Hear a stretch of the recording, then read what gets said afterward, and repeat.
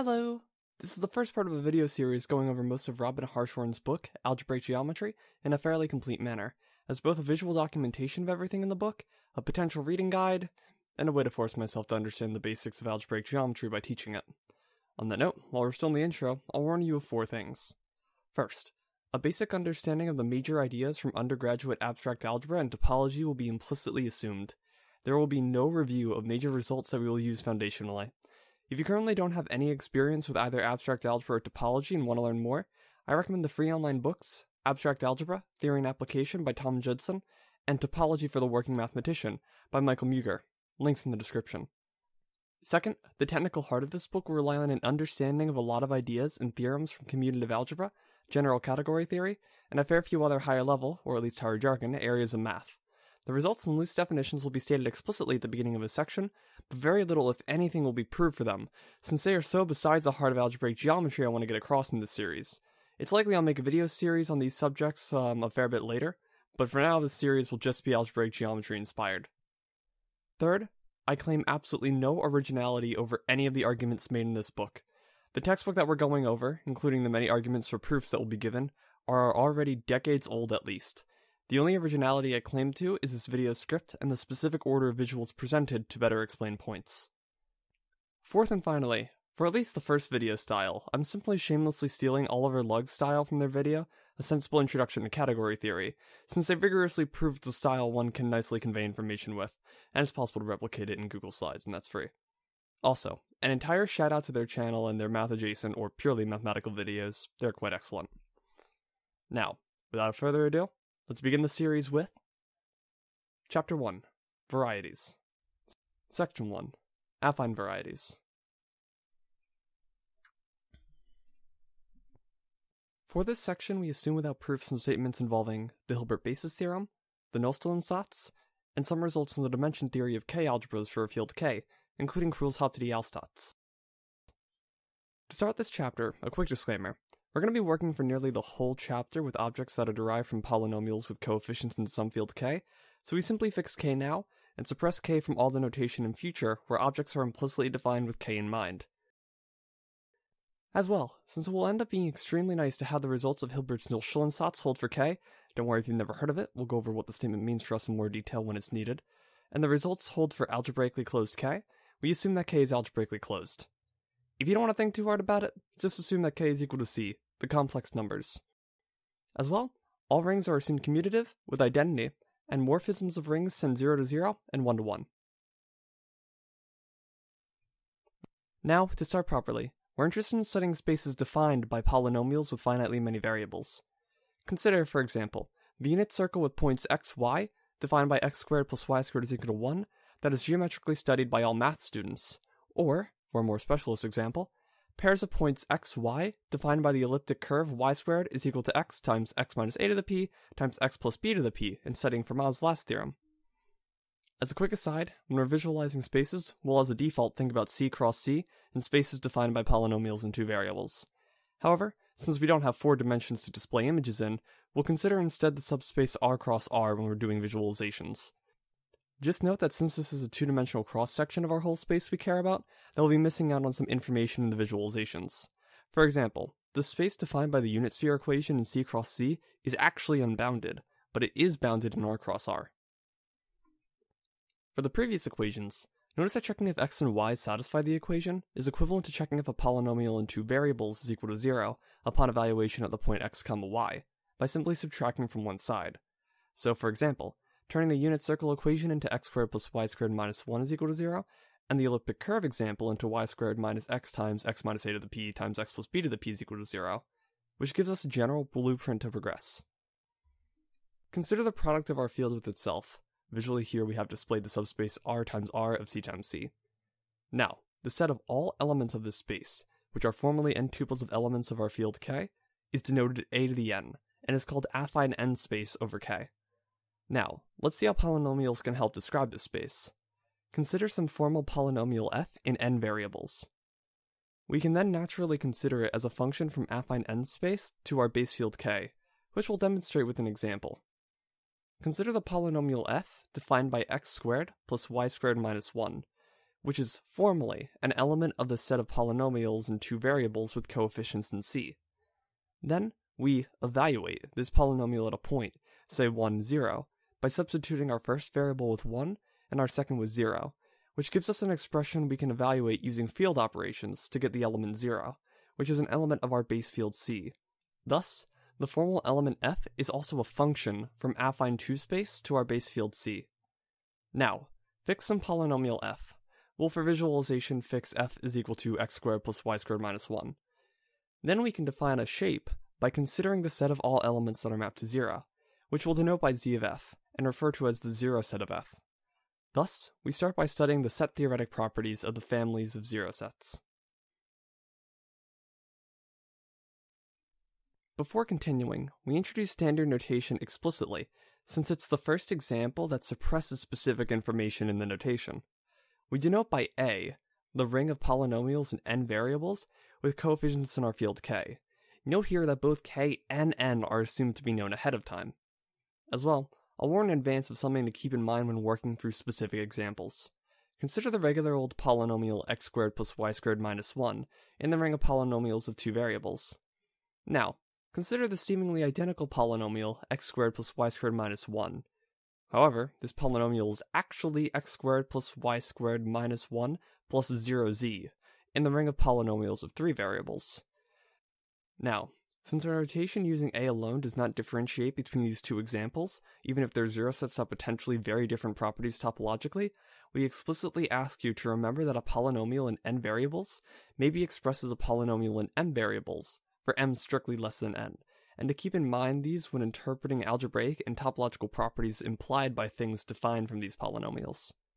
Moving ahead from that disclaimer, consider polynomials f and g in the same number of variables. One of the most basic questions about the zero sets we can ask is whether we're able to find some polynomials h and h prime, such that the zero set of h is the same as the union of f's and g's, and the zero set of h primes is the same as the intersection of f's and g's, which can be equivalently framed as the question of whether the family of zero sets is closed under finite union and intersection. We start by trying to answer this question for unions. Expanding the definition, we see that it's the set of all points that either evaluate to 0 under f or evaluate to 0 under g. Now, since k is a field, it is by definition an integral domain, and so the product of two functions with output in k is 0 at a point if and only if either of the two functions are 0 at the point p, in this case with p in affine n space. Now, this means we can change the condition for p to be a point in the union of the zero sets to something equivalent, which is simply the expanded definition of the zero set of the product of f and g, Thus, zero sets are closed under finite unions, QED. Considering how simple the union case would be, the intersection case would be just as simple. Uh, uh right? Right, it's, it's that simple, right? Consider one of the most simple intersections we can have. z of x intersected with z of y, for x and y in the polynomial ring over two variables. We compute this to simply be the singleton containing only the origin point of our space. Now, we need the following lemma. The zero set of a polynomial is either empty or has infinite cardinality, if we have that the polynomial is at least of two variables. We prove it by cases. First, if f is a zero polynomial, then it is our entire space, so it's equal to affine n space, which has infinite cardinality by algebraic closure of the field. Next, if it's a constant polynomial c, then by definition its zero set is the empty set if c is not zero. Finally, Suppose that our polynomial is non-constant. For brevity of notation, we assume that it varies in the first variable, so fix the other variables arbitrarily in our algebraically closed field k. Then, we can define a non-constant polynomial g, indexed by our chosen fixed variables, by simply substituting their value into our original polynomial and simplifying. Since k is algebraically closed, by definition we have a solution to this polynomial, call it a, and so by definition the point a x2 all the way to xn is in our zero set. Since there are infinitely many such ways we can fix the variables, because our field is algebraically closed, this implies the zero set of f is infinite, completing the lemma.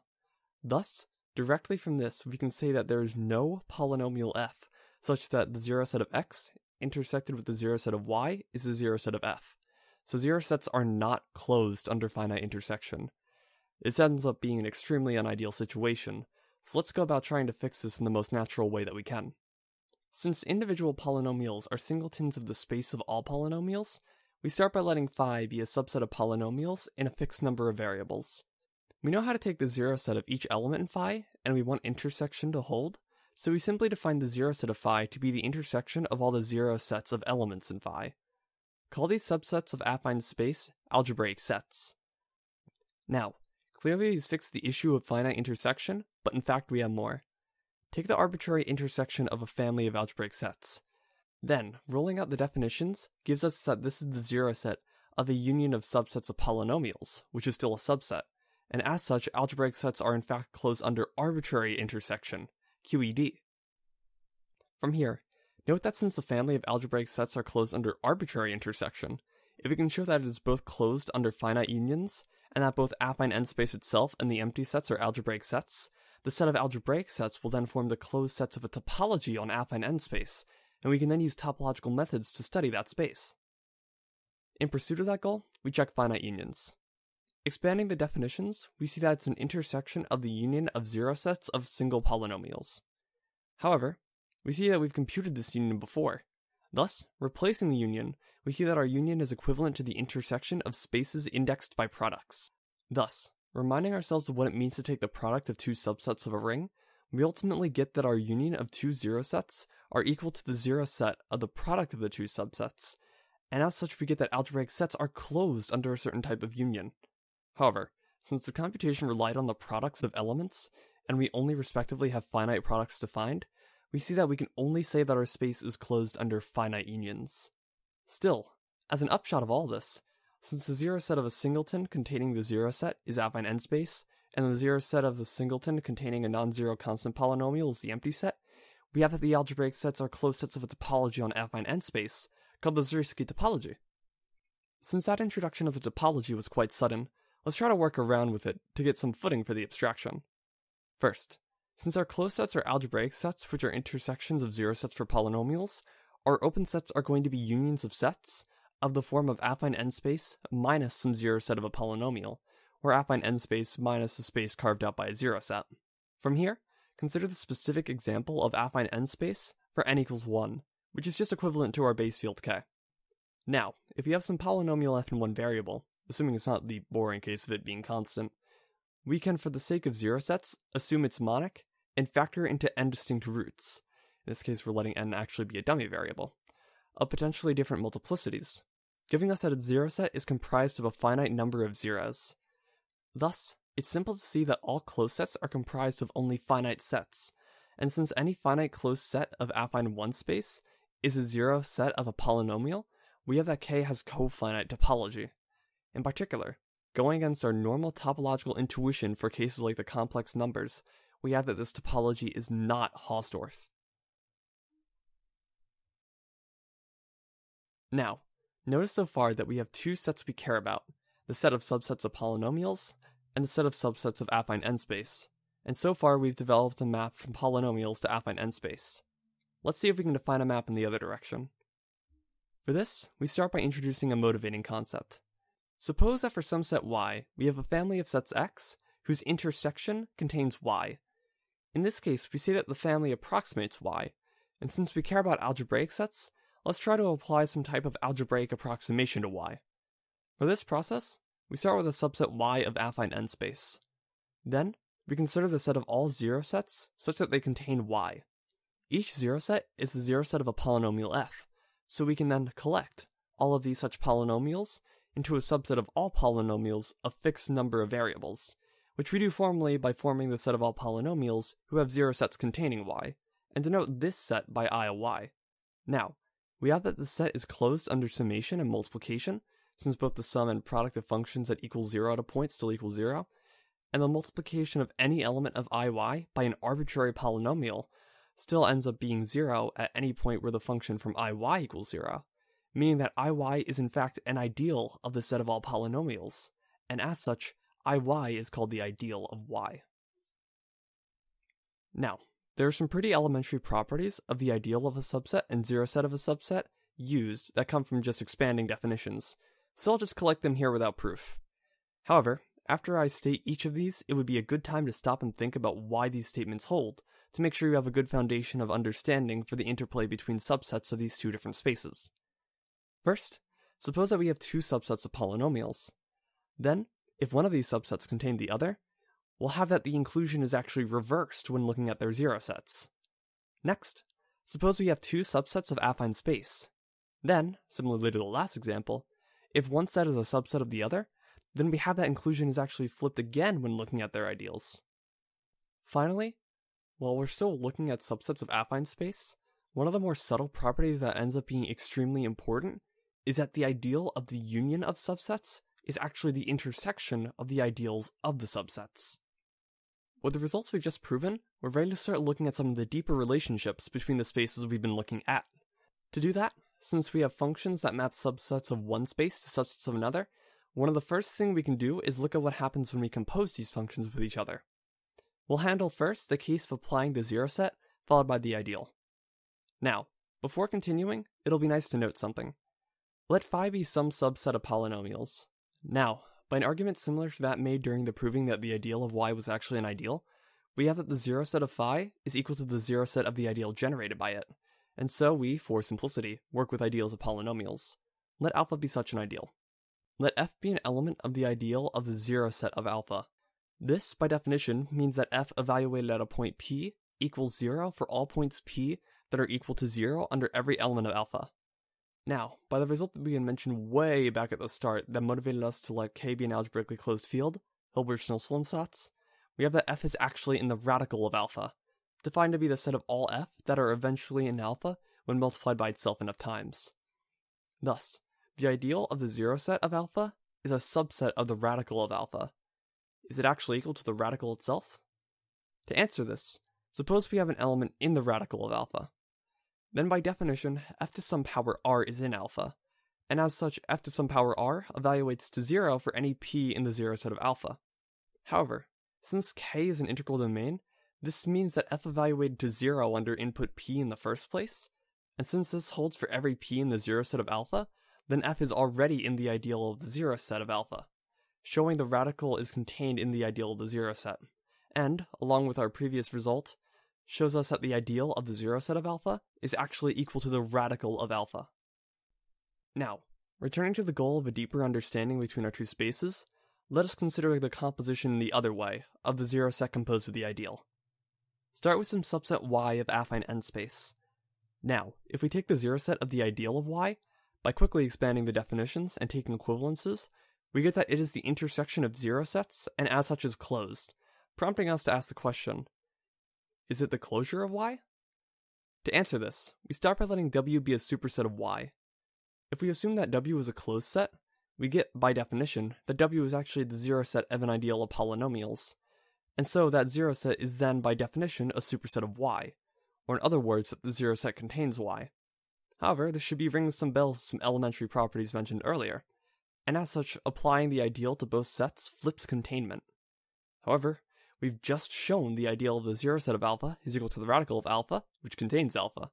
So flipping containment one more time gives us that the zero set of alpha contains the zero set of the ideal of y. However, by definition this means that any closed set containing y contains the zero set of the ideal of y, and since the zero set of the ideal of y is closed in the first place, this shows us that the zero set of the ideal of y is actually the closure of y. Let's summarize everything we've done so far. First for that, some new notation we denote the radical of the power set as the set of all ideals equal to their radicals. Such ideals alpha will be called radical ideals. Next, we denote by the closure of the power set as all the closed sets of affine n space, and also eventually the set of all closed sets of an arbitrary topological space. Thus, we summarize everything we've done so far by saying that the zero set and ideal functions take radical ideals to closed sets and vice versa, and that considering only these sets, we have that the zero set and ideal functions are inverses. Thus, we can study radical ideals by studying closed sets, and closed sets by studying radical ideals. Now, from experience in commutative algebra, ideals P such that products of elements outside the ideal stay outside of the ideal, called prime ideals, are of much importance to study, and since they correspond bijectively to certain closed sets of affine n space because prime ideals are radical, if a subset of affine n space is equal to the zero set of a prime ideal of polynomials, we say that the subset is an affine variety, which is the first major new object of study. and the first question we choose to ask about them is if there's some intrinsic property defining affine varieties.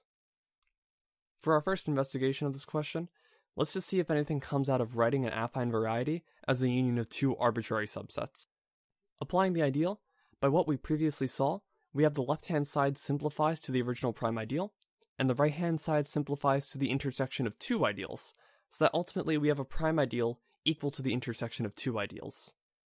To show the significance of this result, we need to take a quick commutative algebra break.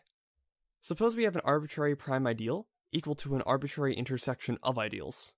Then, if we have elements in both ideals not in our prime ideals, then we know that their product is the intersection of the two ideals, and as such in the prime ideal, a contradiction. Thus, our prime ideal is equal to one of the two ideals of the intersection in the first place. Now, returning to the setup before the break, we see then that the prime ideal is equal to either of the ideals in the intersection, and applying the zero set function gets us that the affine variety is equal to the closure of one of the original sets we built the variety out of. Thus, letting the two subsets be both proper subsets of a variety, and letting them be closed, the previous result tells us that a variety cannot be written as the union of these two sets. We say that our affine variety is irreducible, which prompts the question, is every irreducible closed subset an affine variety? For this, let Y be an irreducible closed subset of affine n space, and let a product of elements be in the ideal. Then, applying the zero set function, we get that the zero set of the product is a superset of the zero set of the ideal, which simplifying on the right hand side gives us y, and on the left hand side gives us a union of the two zero sets. Thus, we write y as a union of itself intersected with the zero sets of the first element of the product, and the intersection of itself with the zero set of the second element of the product. From here, by irreducibility, y is equal to one of these sets, which by rolling out the definitions, means that either f or g are in the ideal of y, and we conclude by saying that the ideal of y is prime. Along with our previous result, we can introduce the standard intrinsic definition of an affine variety, which states that y is an affine variety if and only if y is an irreducible closed subset of affine n space. Before we continue our abstract studies, let's ground ourselves in some examples of affine varieties. First, note that our set of polynomials A is a UFD, which implies that irreducible elements are prime. Thus, for f prime, we have that the zero set of f is an affine variety, called the hypersurface of degree f defined by f. This means that, specifically, the zero set of the zero ideal, equal to all of affine n space, is an affine variety, justifying the name of affine n space. As well, a neat detail to allude to how topology actually gives information about the algebra, let M be a maximal ideal. To say it's maximal is to say that its zero set is a single point. However, by definition, this means our maximal ideal is generated of the following form, letting us actually get general forms for all maximal ideals of our space of polynomials. Let us examine a bit more topologically the properties of affine n space. Let's have a decreasing sequence of closed sets of affine n space. Thus, taking ideals gives us an increasing sequence of ideals, and since by the Hilbert basis theorem we have that our polynomial ring is Noetherian, we have that these ideals are equal above some fixed n. Thus, since the closed sets biject onto any radical ideals, this means our closed sets are actually equal starting from that fixed n as well. This holds for any closed decreasing sequence of sets, and we express this by saying that affine n space is Noetherian. Thus, we can examine the properties of our space by looking at general properties of Noetherian topological spaces. To start, let us have an arbitrary topological space, and assume it's T1. Then, for any arbitrary subset y, we can write it as the infinite union of closed irreducible sets by just taking the points of y and unioning them together. But, in the Noetherian case, we can do much better. Let G be the set of closed sets y that are not the finite union of irreducibles. Now, if there's some y in G, by the topological properties of X, and using a decreasing sequence, we can find some minimal closed set y prime in G. This means that y prime is not irreducible, and is thus the union of proper closed subsets. However, by minimality of y prime, these sets are a finite union of irreducibles, meaning that y prime is a finite union of irreducibles itself, and as such y prime is not in G, a contradiction. Thus, the initial assumption we made was wrong, so G is in fact empty, and as such every element is the finite sum of irreducible closed subsets. As well, there's a strengthening of the statement I'd be remiss not to mention.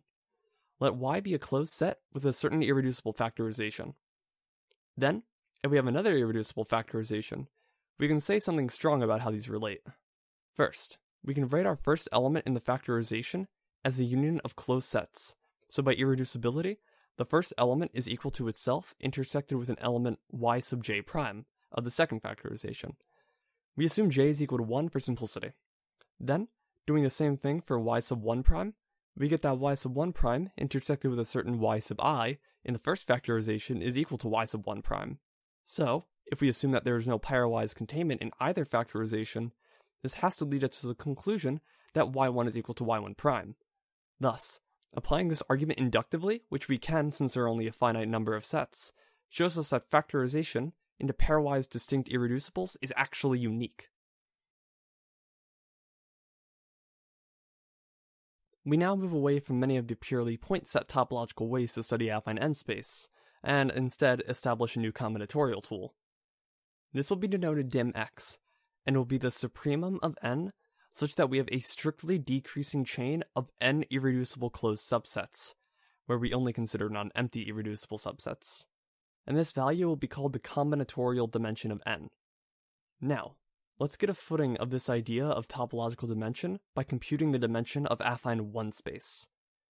Its only closed irreducible subsets will be itself in singletons, as you should verify, and thus we can say that since a maximal chain of irreducible closed subsets consists of two sets, that the dimension of affine 1 space is 1. Before we can continue to say anything interesting through dimension, we need a quick topological aside. Let a space X be irreducible, Y a subset of X, and Z a subset of Y that is irreducible under the subspace topology of Y. Now, let Z be the union of two sets that are closed in the topology of X. Then we have that the intersection of these two sets in Y are closed in Y and equal to Z, so by irreducibility of Z, it's equal to either of the closed sets of Y, which by containment shows us that Z is actually equal to one of the two closed sets in the first place. The upshot of this is that irreducible subspaces of subsets are irreducible in an ambient space. The main application of what we just proved and why we proved it is as follows. Suppose that we have an affine variety Z with a decreasing chain of irreducible closed sets starting at Z is equal to Z naught. Applying the ideal, we get an increasing chain of ideals with each ideal in the chain of a prime ideal. This prompts us, for another moment, to take another commutative algebra break. We have a combinatorial invariant of an ideal P, denoted HTP, for P usually prime, which is the supremum of all n, such that we have a strictly increasing sequence of prime subideals of our ideal. This is called the height of P, which can be thought of as how high you can get by stepping over prime subideals. From here, for an arbitrary ring A, this allows us to define the dimension of A as the supremum of heights of prime subideals, since prime ideals strictly can be seen to add dimension to another prime ideal if it's a strict superset. Now, returning to our strictly increasing sequence of prime ideals, we consider the quotient ring of the ring of polynomials by the prime ideal indexed by z0. In this context, containment of prime ideals correspond directly to containment of the zero ideal by a prime ideal in our quotient ring, and so we biject our increasing sequence with an increasing sequence of prime ideals in the quotient ring, starting at the zero ideal. Saturating these chains of ideals and considering their supremums, we then get that through our bijection, that the dimension of our affine variety is the same as the dimension of the quotient ring of polynomials by the ideal of the variety. Thus, because of this combinatorial correspondence, we define the quotient ring explicitly, calling it the affine coordinate ring of our ideal. Now, we take a slight aside to brush up on some aspects of commutative algebra that will be so central to our analysis upcoming that it's not worth making a commutative algebra break. Let A be an arbitrary K module. Suppose that A has a ring structure that by assumption is commutative with identity. Then, if the module structure distributes over multiplication, which is equivalent to saying that the map from our field to the ring, defined by sending the scalar multiple of the unit to the scalar multiple of the unit, is a homomorphism, we say that A is a K algebra, which is important due to the following. First, the affine coordinate ring is defined as a quotient ring of our polynomial ring over a prime ideal, so it's an integral domain that is a finitely generated K-algebra. Now, if we have B, an arbitrary finitely generated K-algebra that's an integral domain, it's able to be written for some n as the quotient ring of A by an ideal alpha. By integrality, alpha will be a prime ideal, and thus B will actually be the affine coordinate ring of some affine variety, meaning that studying the dimension of affine varieties is actually the same as studying the dimension of affine coordinate rings, which is the same as actually studying the dimension of finitely generated K algebras that are integral domains. So we can apply the theory from the last field of study to the first. However, a uh, fair warning. I warned earlier that many statements would be without proof, and most of the time so far I've tried to make it fairly inconsequential. The upcoming theory reference is not that. It is intense abstract dimension theory, which, while good for motivating why we care about dimension theory by seeing the results, may be actually painfully abstract without proper proofs. I'll try not to linger on details for too long, but just know this is a point where you may get lost if this is your first exposure. Without warning though, let's get into it. Earlier, we've shown topologically that the dimension of affine 1 space is 1, which prompts the obvious question, does this generalize so that the dimension of affine n space is n? To calculate, start by replacing the dimension of affine n space with its affine coordinate ring, which is just isomorphic to the original ring of polynomials in the first place. Now, a result from the dimension theory of finitely generated integral K algebras tells us that its dimension is equal to the transcendence degree of its field of fractions, which, by the fact that our polynomials have n distinct unrelated variables, shows that this is actually equal to n, and as such showing that, indeed, the dimension of affine n space is n, our first obvious application of dimension theory. Next, suppose we have an affine variety of the form of a zero set of alpha for alpha a prime ideal. The original statement we cited actually has a stronger second half, which gives us a formula to play around with dimension. Suppose for this play that the zero set of alpha has dimension n minus 1. Now, independently, we have that the height of alpha plus the dimension of the affine coordinate ring of alpha is equal to the dimension of our ring of polynomials, which has the same dimension of affine n space.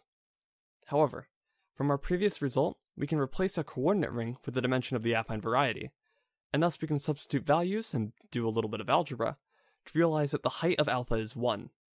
From here, another result says that since A is a UFD, that alpha is a principal ideal. Call it the principal ideal of an element f. From here, since the principal ideal of f is prime, then f is prime and as such irreducible, meaning we have found all such forms of ideals that produce affine varieties of dimension n-1, showing dimension has classification potential. From here, let's quickly check the converse. If alpha is the principal ideal of an irreducible f, then Krull's Hauptidealsatz shows us that alpha has height 1, and by doing the previous algebra again, we get that the affine variety defined by alpha has dimension n-1, giving us classification of all forms of affine varieties of dimension n-1.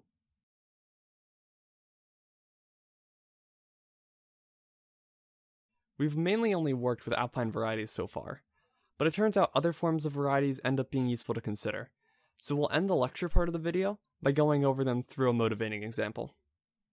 Consider what we've just proven. If f is irreducible, then the dimension of its affine variety is n minus 1. Thus, if we're given an arbitrary polynomial f, if its zero set has dimension n minus 1, we see that f is potentially irreducible, since it doesn't produce a contradiction with our previous result. Note, this terminology, from what I know, isn't standard, but it's a good motivating example in my experience. Now, suppose we have some issue that requires us to make a test for irreducibility based off a polynomial's zero set's dimension. The zero set can potentially be extremely poorly behaved for our purposes, so we look for subsets that have the same dimension to simplify the search of points that we're actually checking over. This is an issue that can't be completely addressed algebraically. Suppose we have a proper subset of an irreducible subset, such that its closure is still a proper subset. Then we'll have that the dimension of the subset is strictly less than, and as such not the same, as the dimension of the space we care about. And since the algebra only tells us about the closed sets, this is extremely likely to occur. So we move to the realm of pure topology for ideas. Suppose we have an irreducible set X, and let U be an open subset of it that's non-empty. Since we're mainly working with closed sets, we write U in an equivalent form, and consider some properties of this open set. Suppose we can write it as a union of sets, with these sets closed. Then, we can write X as the union of its complement with another set and that set, which by assumption is equal to the union of three proper closed subsets, a contradiction to the irreducibility of x, and as such, u is irreducible. As well, by unioning its closure with c, we get x. By irreducibility, meaning that, since u is non-empty, that u is dense, which all culminates to saying that the dimension of u is less than or equal to the dimension of x. So we consider them as potential subsets of affine varieties to take dimension of, to test the dimension of the whole affine variety. From that, suppose that U is a non-empty open subset of an affine variety. By inequality of dimension, and the fact that our variety is a subset of affine n space, we get that the dimension of U is less than or equal to the dimension of affine n space, meaning that the dimension of U, which we'll denote by n prime in this proof, is actually finite. Thus, by definition, we can find some maximal chain of irreducible closed subsets of Y, taking special note to consider that our bottom element, by non-emptiness, must be a singular point denoted P. Now, taking closures of these sets gives us a maximal, in the sense that it cannot be extended, chain of subsets of our affine variety, since U is dense in the variety, with P still unchanged. Now, this point that's a subset of an affine variety, upon taking its ideal, is embedded into a maximal ideal of the affine coordinate ring, and, bringing back in our favorite dimension theory result while considering the affine coordinate ring, gives us at the height of this maximal ideal, plus the dimension of the quotient ring of our affine coordinate ring by this ideal, is the dimension of the affine coordinate ring itself. Now, by maximality of the ideal, we see that our center ring is actually isomorphic to our base field k, giving us the dimension of our affine variety in terms of the height of m in the affine coordinate ring, plus the dimension of our field. Now, by maximality of this chain of closed subsets, we get that the height of m is equal to n prime, and since k is a field, and as such having only one prime ideal, we get its dimension is equal to zero. And thus by the theorem, n prime is equal to the dimension of our affine variety, and by definition of n prime, this means the dimension of u is equal to the dimension of our entire affine variety. So we can check the dimension of the non-empty open subsets to check for potential irreducibility. Now, while the application of checking potential irreducibility is neat, notice that open subsets of affine varieties have many amazing properties resembling the ambient space, including irreducibility, density, and combinatorial dimension. Thus, since they are almost varieties in most specific properties, we end this lecture by a definition for later. If U is a non-empty open subset of an affine variety, then we say that U is a quasi-affine variety, which will be intensely studied when we get to morphisms between varieties.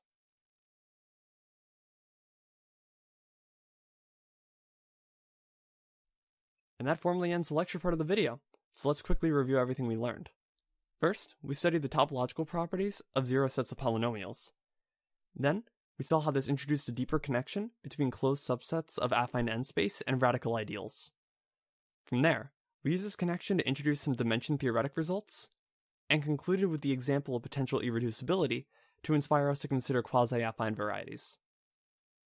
Next section will be considerably shorter, although more likely to be experimental, using structures behind graded rings to define projective varieties, and hinting at scheme theory through the patching together of affine varieties in relation to projective space. To completely round out this video, I'll just end with some information about where this project is likely to go. I'm going to have to prepare for an upcoming college term, um, including studying a lot of other mathematics unrelated to this. So don't expect the video series to continue anytime relatively soon, but I can promise that I've been enjoying this, so I'm likely going to be continuous, um, continuing to just grind through this in the background while I'm just finishing up my classwork. Until until I have it done though, until I have it finished. If you're still watching this, see ya. Take it as easy as you can.